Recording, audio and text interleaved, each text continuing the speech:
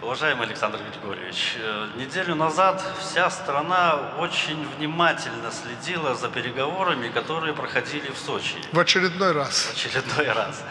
Э, переговоры по своей форме уже были очень интересны. Вначале э, встреча один на один с Владимиром Путиным за завтраком полтора часа. Затем спортивная пауза вместе с ним же в одной команде. После уже переговоры в расширенном формате ну, кроме формы, очень важно еще и содержание. Много сейчас мнений, оценоч, оценок на этот счет. Поясните, пожалуйста, более подробнее от первого, от первого лица, о чем, как проходили эти переговоры? Значит, что касается переговоров, да, вы правильно отметили, что по форме это были своеобразные переговоры, но когда мы присели там перекусить, за завтраком, как вы сказали, мы просидели полтора часа. Это был не столько завтрак, завтрак там, может, занял 20 минут. Мы очень долго проговорили, и я намекнул в своем вступительном слове, что от седых времен до нынешнего момента вот этих столкновений, драк, споров мы дошли. И вышли на проблему Украины. Для нас это важно, особенно вам здесь совсем рядом. Вы знаете, что пострадали наши люди. Война абсолютно глупая, бестолковая, братоубийственная война, этого быть не должно. Мы обсудили эту проблему, обсудили ближневосточную проблему, то, что творится сейчас в Сирии, в Идлибе. Вот это мы все обсуждали, сопоставляя точки зрения и так далее. И я, конечно, аккуратно выводил этот разговор на то, что мы вместе многое сделали. Мы отстояли нашу страну, я ему напомнил, сколько погибло людей – сколько деревень было сожжено вместе с жителями. Он сказал о том, что 70% практически потерь – это россияне. Вот мы эту проблему животрепещущую обсуждали, и я спокойно э, перешел на советские времена и напомнил потом ему аккуратно, что вот те скважины нефтедобывающие, газодобывающие, особенно с Гомеля – с Витебска, Могилева, да и с Минска самолеты летали вахтовым образом, бурили эти скважины и добывали нефть. Сегодня, увы, это не наше.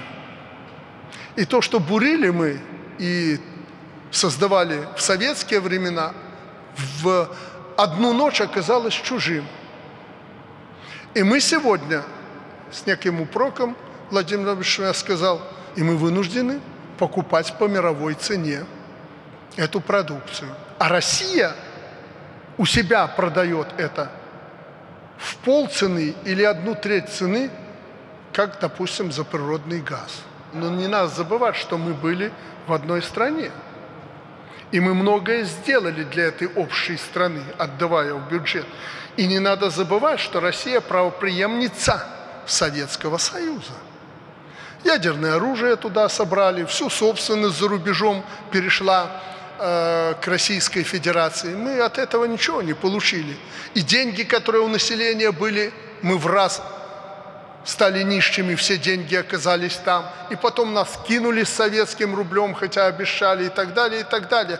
Все это напомнил. Мы немало сделали и немало пострадали. Но если вы правоприемница Советского Союза, так, пожалуйста, вы не уходите от тех обещаний, которые выдало советское правительство тогда, после взрыва на Чернобыле. Почти 80% этой беды выпало на нас. И я ему говорю, хорошо, я не прошу там бесплатно на одну треть Беларуси по российским ценам хотя бы газ.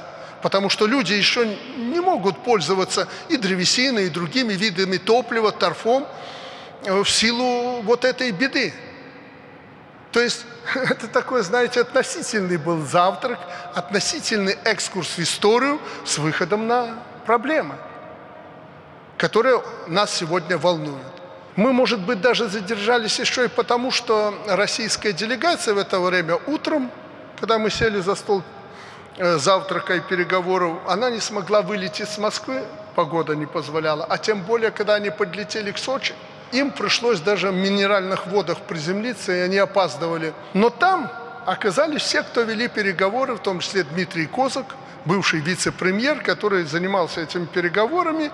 И вот после этого всего завтрака мы сели за стол переговоров в расширенном составе.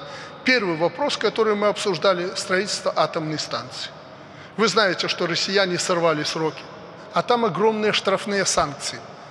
Владимир говорит, ну, слушай, мне надо будет платить за, по этим санкциям из бюджета, поэтому ты уж там посмотри, надо как-то договориться, ну, не гоже нам санкции этих начинать. Я говорю, хорошее предложение, у меня будет встречное.